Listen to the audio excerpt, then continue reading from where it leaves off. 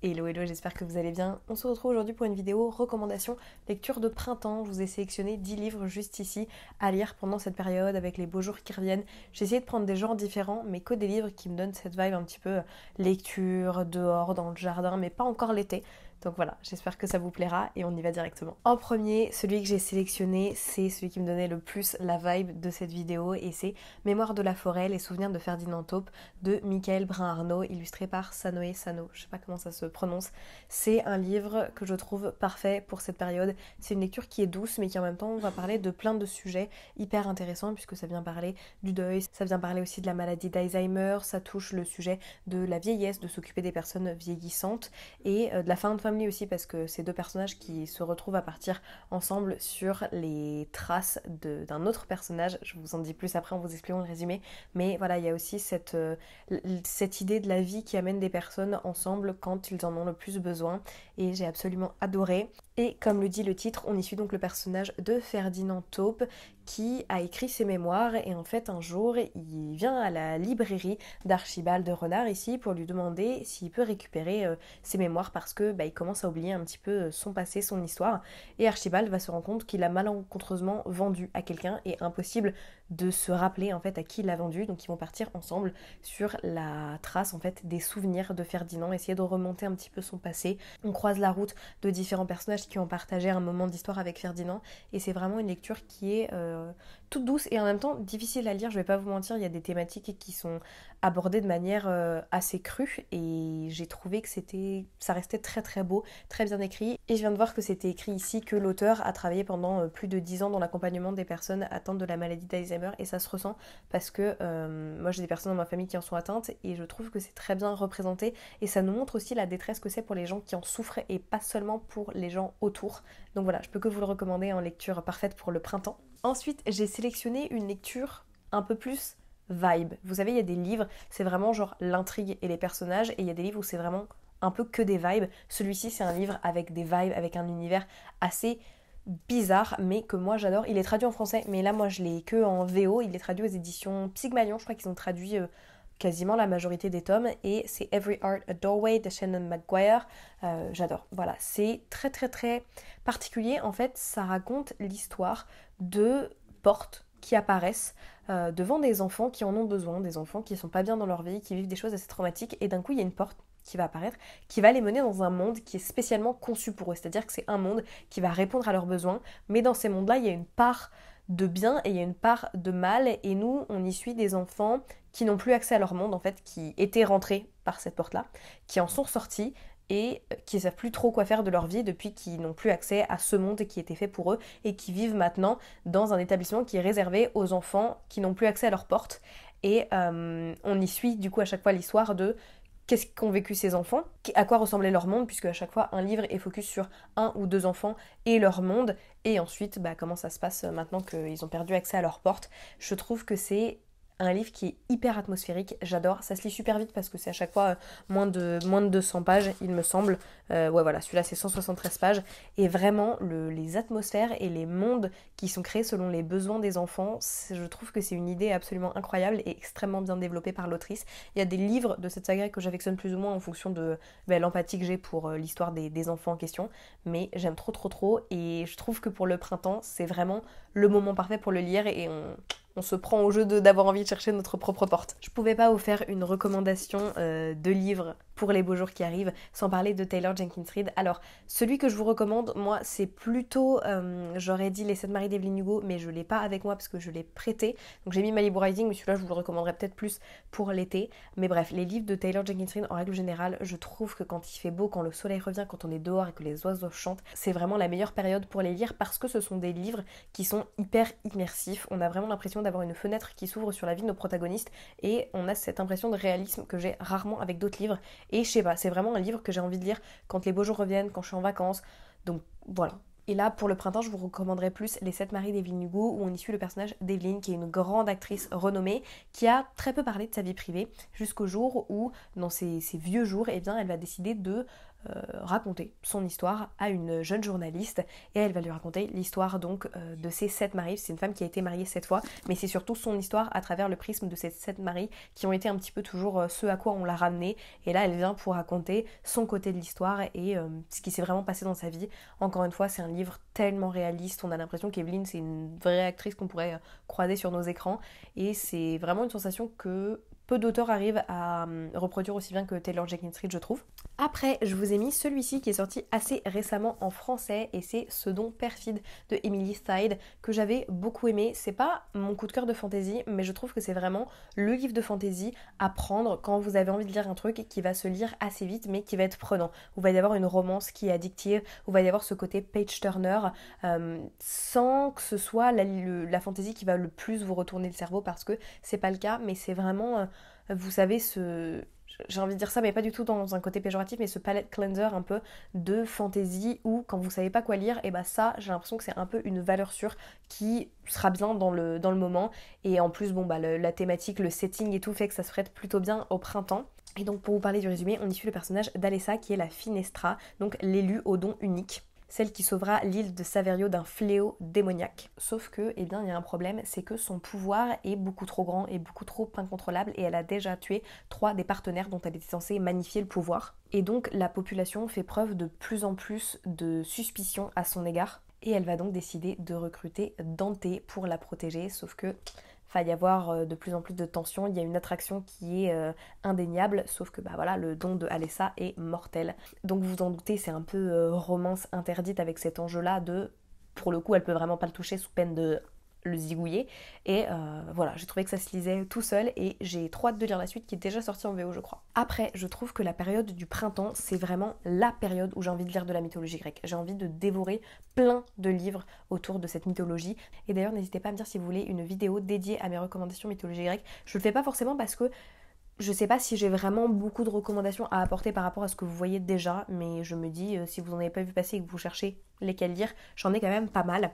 Et euh, celle que je vous recommande, que j'ai lue assez récemment, c'est Psyché et Eros de Luna McNamara. Alors attention, je précise, euh, il y a pas mal de retours négatifs sur ce livre parce que c'est une réécriture très comment dire, qui prend beaucoup de liberté sur le mythe originel. Après, c'est le principe de la réécriture, dans tous les cas c'est un mythe, mais je préfère le préciser que ça va être une réécriture qui va prendre beaucoup de liberté là-dessus. Le personnage de euh, Psyché notamment est beaucoup plus rendue beaucoup plus féministe entre grosses guillemets. On va la rendre plus combative que ce qu'elle était dans le, mythe de base. Mais voilà, moi c'est ce que j'aime aussi dans les réécritures, c'est que si je voulais juste lire le mythe de base, je lirais le mythe de base.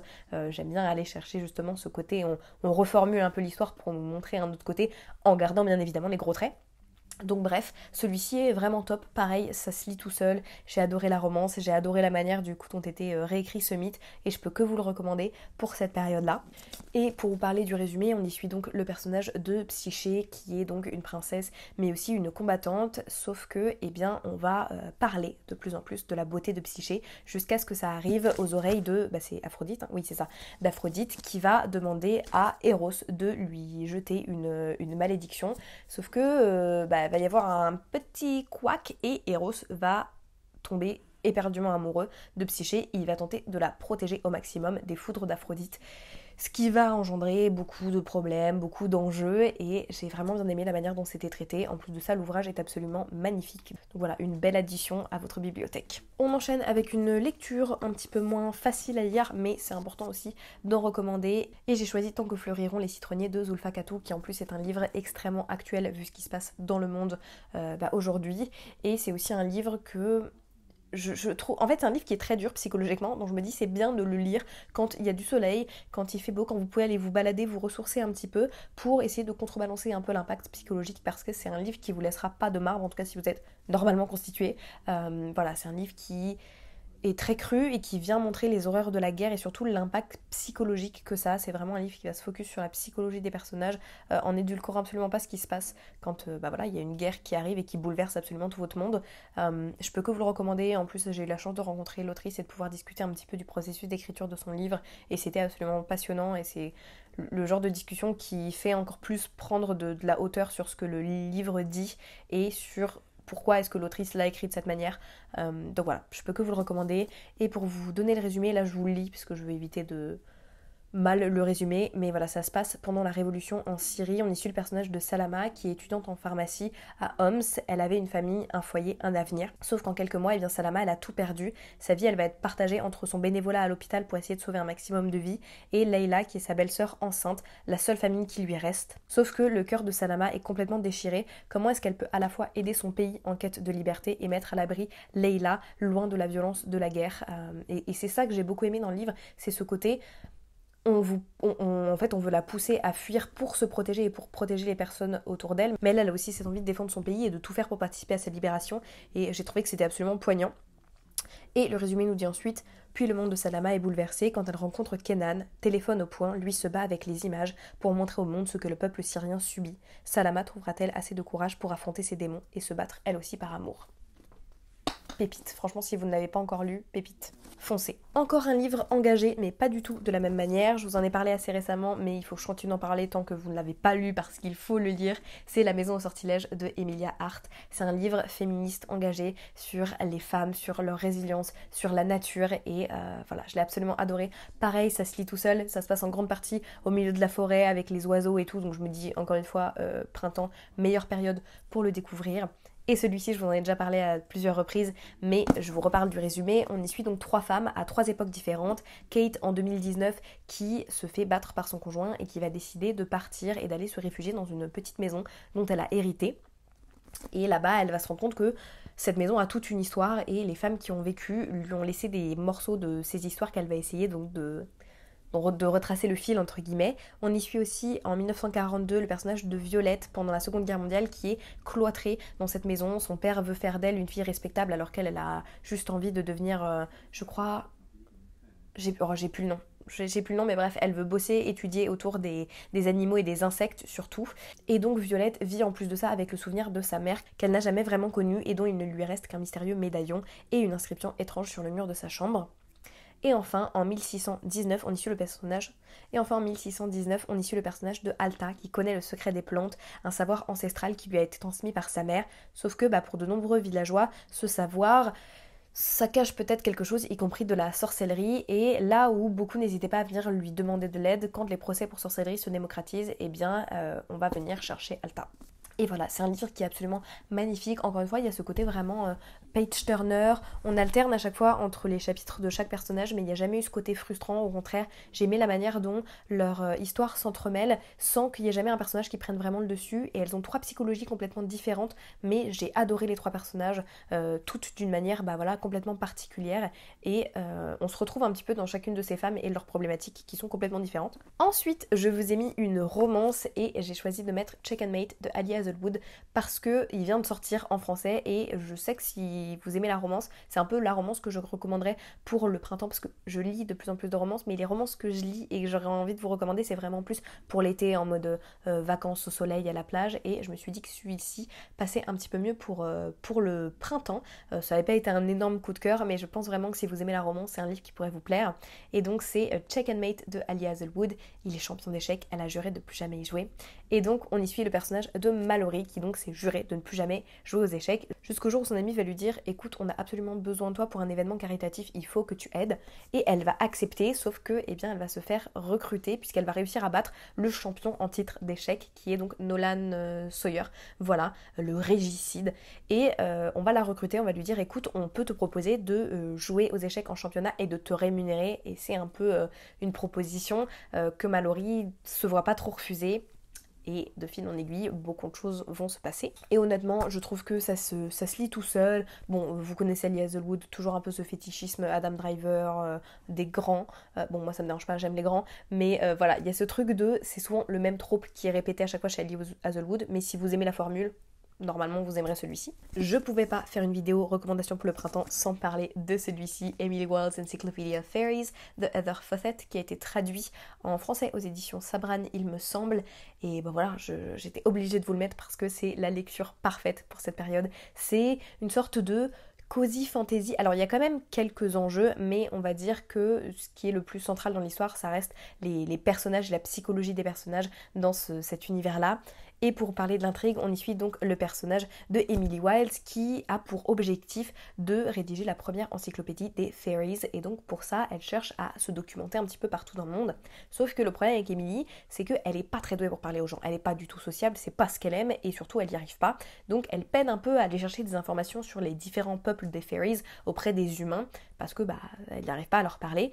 Mais il y a son ami et rival académique Wendell Bumblebee qui va arriver et lui dire écoute ma cocotte, viens on euh, moi je t'aide à parler aux gens parce que moi je suis super à l'aise, donc voilà, et puis en contrepartie je t'aide à faire ta thèse et tu mettras mon nom sur le papier et on travaille un petit peu ensemble. Emily, elle accepte, et en parallèle, ils vont commencer à étudier un peuple qui s'appelle les Hidden Ones, qui est un peuple de fairies un peu plus sombre. Euh, et à travers ces recherches-là, Emily, elle va aussi se rendre compte que peut-être, peut-être, Wendell, il lui cache quelque chose. Mais je vous en dis pas plus. Et vraiment, j'ai adoré ce côté euh, exploration du lore des fairies dans les pays nordiques, mais aussi le côté euh, d'avoir le Grumpy Sunshine, mais un peu inversé, où on a Emily qui est vraiment euh, pas sociable, très renfermée, qui a beaucoup de mal à s'ouvrir aux autres, et Wendell qui arrive, qui est vraiment hyper bubbly, hyper à l'aise, qui essaye toujours de la faire sourire et tout, et j'ai adoré leur dynamique. En plus, on a un chien dans l'histoire, et je peux que vous recommander, il était trop bien, ça se lit tout seul, et vraiment c'est la vibe, mais alors parfaite pour cette saison. Après, je vous ai mis celui-ci qui n'est pas traduit, mais si vous lisez en VO, il faut le lire, il est trop trop trop bien. C'est Faybound de Sarah L. Arifi. Euh, celui-ci, j'avais eu une relation un peu bizarre avec, puisque je l'avais mis en pause. Euh, quand je l'avais commencé, j'arrivais pas trop à rentrer dedans. Et en fait, en l'ayant mis en pause, je me suis rendu compte que j'avais vraiment envie d'y revenir. Et quand je l'ai repris, je l'ai dévoré et je l'ai adoré. Alors, il va être traduit, je pense, puisqu'il y a deux ou trois jours, euh, bah, les éditions Sabran encore, ou de Saxus, je sais plus, enfin bref, euh, c'est le même groupe, mais euh, a commencé à faire du teasing et, clairement c'est celui-ci, donc il devrait bientôt être traduit par cette maison d'édition et il était absolument génial. On y suit donc deux sœurs, on a deux personnages principaux dans celui-ci. la première qui est donc une, qui s'appelle Yiran, qui est une grande guerrière jusqu'au jour où malheureusement, eh bien, elle va commettre une erreur qui va euh, générer, enfin entraîner plutôt son bannissement. Et sa sœur qui est une seer, elle, elle arrive à communiquer en fait avec, euh, les, esprits pour essayer de voir, enfin pour tout simplement voir le futur et donc elles vont se retrouver un petit peu toutes les deux exilées et en étant exilées eh bien elles vont tomber sur un peuple qui est censé avoir disparu depuis des millénaires qui est le peuple des euh, oui c'est ça, les Fae, puisqu'elles ce sont des elfes. À la base, il y avait les elfes, les fées, les humains. Les humains ont complètement disparu. On pensait que les fées aussi. Euh, il restait que les elfes et non, elles tombent donc sur ce peuple qui est censé avoir disparu depuis plus de 1000 ans et ça va un petit peu bah tout chambouler dans leur, euh, leur perception des événements et dans le futur de leur peuple. Et vraiment, il était trop trop trop stylé. J'ai vraiment hâte d'avoir la suite et euh, je peux que vous le conseiller, soit si vous lisez en VO, soit dès qu'il sort en français. Et c'est un livre qui est très centré sur la nature, le lien à la nature, aux animaux, le lien à soi-même, se recentrer euh, dans la forêt et tout. Donc je me dis encore une fois, parfait avec le thème du printemps. Et enfin, celui-ci, je vous en parle très régulièrement, mais j'étais obligée parce que moi je l'ai découvert justement au printemps quand je me suis remis à la lecture il y a des années. Et c'est vraiment euh, la période où j'ai envie à chaque fois de me replonger dans cet univers. Et c'est Le Faiseur de rêve, donc Strange the Dreamer de Lainey Taylor. Moi j'ai l'édition, euh, les éditions collector là qui m'ont été offertes par ma copine Mathilde, elles sont absolument sublimes. Et vraiment ce livre aussi c'est une pépite de fantaisie assez euh, douce, euh, avec un univers incroyable et une romance. Waouh, c'est un, livre qui est très euh, onirique, si je vais le décrire. Je dirais voilà, que c'est un livre qui me fait penser à, cette vibe-là, un peu de, de, rêve éveillé, entre guillemets.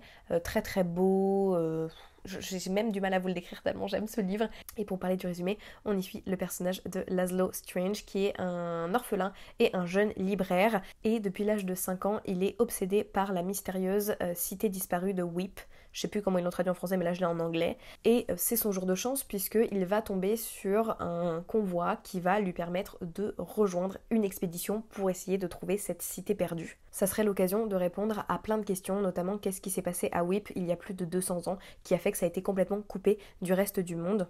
Et les réponses à toutes les questions que se pose Laszlo eh bien, se trouvent à Whip. Mais il y a aussi beaucoup plus de mystères, y compris cette jeune déesse à la peau bleue que Laszlo voit dans ses rêves. Comment a-t-il pu rêver d'elle avant même de savoir qu'elle existait? Et si les dieux sont censés être morts, comment se fait-il qu'elle semble si réelle?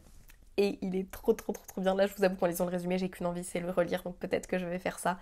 Euh, j'aimerais trop qu'il fasse une version dramatisée de ce livre aussi, mais c'est une, une pépite, c'est une duologie, donc en plus ça va, vous engagez pas trop sur, euh, le long terme, et vraiment, c'est une vraie claque ce livre. C'est une plume qui est très particulière, très douce, très poétique, et lisez-le si vous ne l'avez pas encore lu, s'il vous plaît. Et voilà qui vient conclure la vidéo. J'espère que ça vous aura plu. N'hésitez pas à me dire quel livre vous me recommanderiez ou recommanderiez aux autres personnes pour le printemps. Et puis sur ce, moi je vous fais de gros bisous et je vous dis à la semaine prochaine. Ciao ciao